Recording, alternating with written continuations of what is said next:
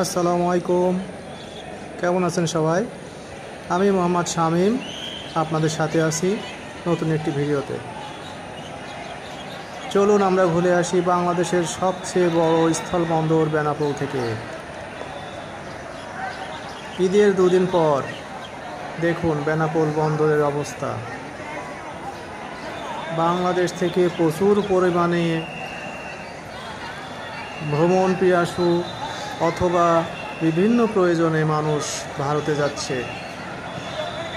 আজকে বেনাপোল কোর্টে মানুষের ভিড়।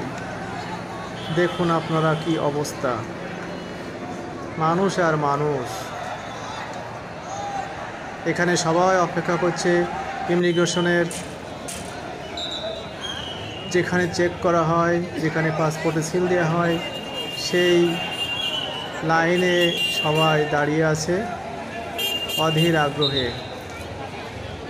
এখানে যে লাইন আছে, হাজার হাজার মানুষ এখানে অপেক্ষা করছে। আপনারা দেখতে পাচ্ছেন, আন্তর্জাতিক পর্যটন টার্মিনালের সামনে নিচে দেখুন, তারা অপেক্ষা করছে, সবাই লাইনে দাঁড়িয়ে আছে। বিডিআর, আনসার বাহিনী, সবাই। তারা চেষ্টা করছে যেন কোনো বিশৃঙ্খলা না হয়। সেজন্য তারা চেষ্টা করছে।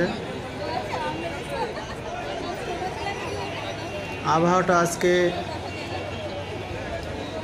আকাশে মেঘ, গুড়ি গুড়ি বৃষ্টি হচ্ছে।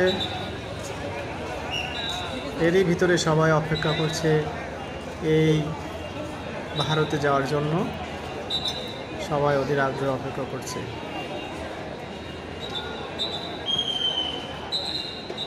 দেখুন কি অবস্থা। মনে হচ্ছে বাংলাদেশ থেকে শরণার্থীরা ভারতে যাওয়ার জন্য অপেক্ষা করছে। ঠিক তেমনটি মনে হচ্ছে। আমার কাছে তেমনটি মনে হলো যেন এরা বাংলাদেশ থেকে ছেড়ে ভারতে চলে যাচ্ছে। অবাক করা কাণ্ড। জানি না ভারত থেকে এত পরিমাণ ভারতের নাগরিক বাংলাদেশে আসে কি না, কিন্তু বাংলাদেশের নাগরিকদের কি অবস্থা? তারা কারণে অকারণে সবাই ভারতে যেতে ইচ্ছুক। আর এখানটার অবস্থা থেকে সেটাই প্রমাণ হয়। সবাই ভালো থাকুন, সুস্থ থাকুন। বেনাপোল পোর্ট থেকে আল্লাহ